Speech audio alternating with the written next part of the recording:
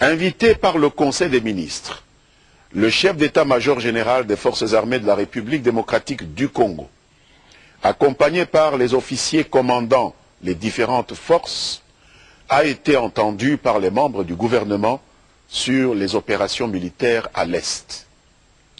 Il a brossé à l'intention du Conseil des ministres l'état des lieux des forces armées de la République démocratique du Congo à ce jour et a présenté le film chronologique des actions menées par elles pour rétablir la paix et la sécurité dans cette partie du pays perturbée de manière récurrente depuis près de deux décennies. Les actes d'indiscipline provoqués dans quelques régiments au nord et au sud Kivu n'étant que les dernières en date de ces perturbations. Le Conseil des ministres a ainsi appris que cette mutinerie est venue se greffer sur une série d'actions déstabilisatrices ourdies par des groupes armés étrangers et nationaux qui sévissent dans l'est de notre pays. Il s'agit pour les groupes étrangers des Ougandais de la LRA en province orientale, d'autres Ougandais de l'ADF Nalu et de Rwandais de FDLR au nord Kivu, des mêmes FDLR et des Burundais de FNL au sud Kivu. Quant aux groupes armés nationaux, une vingtaine d'entre eux sont restés plus ou moins actifs et écument encore certaines entités dans les deux Kivu et dans la province orientale, plus spécifiquement en Ituri. Il a été constaté que certains acteurs politiques nationaux ou locaux n'hésitent pas à prendre fait et cause pour ces criminels et plaident passionnément pour leur intégration au sein des forces armées de la République démocratique du Congo, dont ils mettent à rude épreuve le caractère national et républicain. Quoi qu'il en soit, les forces armées de la République démocratique du Congo ont été réorganisées depuis novembre 2008 par une action volontariste de leur commandant suprême, une action d'assainissement d'effectifs, d'équipement et de formation par la réouverture des académies, écoles ou centres d'instruction. Elles ont depuis lors entrepris une action efficace de neutralisation de tous ces groupes armés, qu'ils soient nationaux ou étrangers. Dans le même temps qu'était mise en œuvre au niveau du gouvernement une diplomatie agissante envers tous les États voisins. Comme résultat de ces efforts, le chef d'état-major général des forces armées de la République a porté à la connaissance du Conseil des ministres des avancées fort significatives dans le processus de sécurisation et de pacification de l'Est de 2008 à 2012. Ainsi, la LRA, groupe terroriste ougandais, qui a sévi en province orientale, a pratiquement disparu du territoire congolais. Ses membres sont signalés en République centrafricaine et au Sud-Soudan.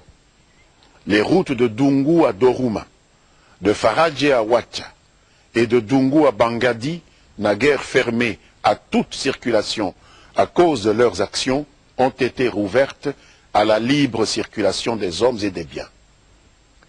La République démocratique du Congo maintiendra néanmoins sa participation au dispositif mis en place par l'Union africaine pour traquer les éléments de la LRA en République centrafricaine et au Sud-Soudan.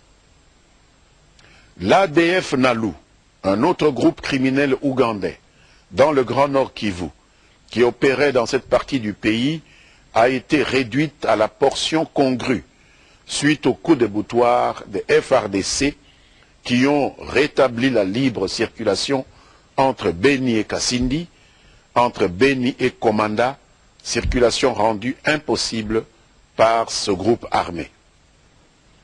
Les FDLR, célèbre groupe criminel rwandais, a vu ses capacités de nuisance réduites presque à néant, tant au nord Kivu qu'au sud Kivu. Le FNL, groupe armé burundais, qui s'était allié au FDLR au sud Kivu, n'a plus que quelques éléments épars associés à des coupeurs de route dans des hameaux reculés de cette province. Il ressort des renseignements partagés par le Conseil des ministres que la longévité du terrorisme d'origine étrangère à l'est de la République démocratique du Congo est alimentée par un réseau de complicité entre des Congolais et ces forces négatives, quels qu'ils soient. 35% de ressortissants congolais auraient été ainsi identifiés dans les rangs des FDLR rwandais. Ils étaient 40% au sein de l'ADF Nalu, ougandaise. Et 25% de nos compatriotes se sont retrouvés dans la LRA ougandaise lorsque celle-ci était active dans le Bazouélé et le Haut-Ouélé.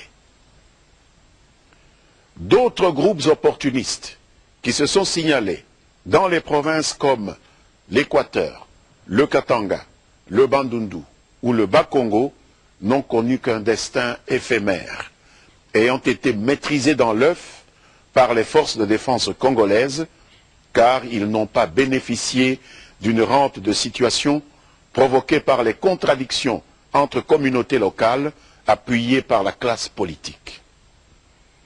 Il appert assez clairement que la résistance des forces négatives de l'Est aux efforts pour leur éradication est proportionnelle à la complicité dont elles bénéficient localement de la part des compatriotes qui affaiblissent les lignes de défense de la nation en cherchant à tout prix à communautariser des problèmes de défense et de sécurité nationale ou en devenant des caisses de résonance d'intérêts non congolais.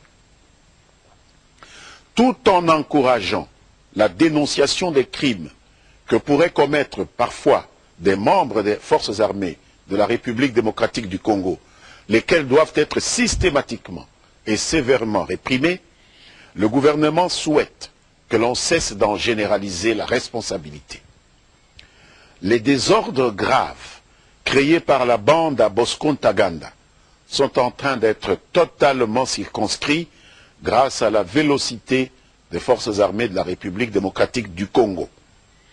Le bilan humain des engagements provoqués par cette mutinerie depuis le début des opérations est de 200 mutins de la bande Antaganda tués 250 mutins blessés, 374 mutins qui se sont rendus au FRDC, parmi lesquels 25 citoyens rwandais qui sont actuellement entre les mains de la MONUSCO.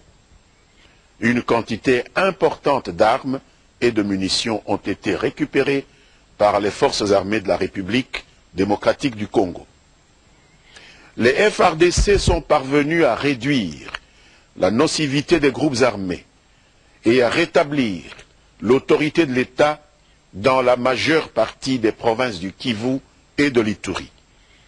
Le phénomène coupeur de route qui est brandi de temps en temps pour exciper de la poursuite de l'état de guerre procède en fait d'une criminalité résiduelle qui s'observe dans toutes les situations post-conflit. Leur gestion relève des forces de police et non des forces armées.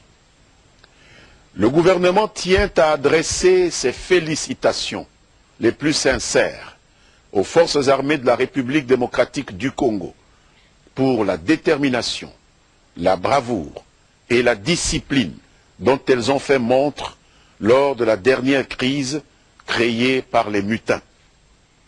Des ressources humaines et logistiques adéquates continueront à être mises à leur disposition pour accélérer leur modernisation et leur montée en puissance.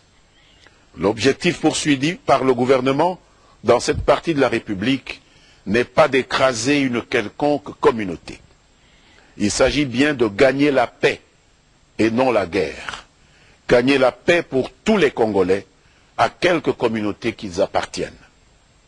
La guerre de l'Est a des soubassements politiques identitaire et mafieuse.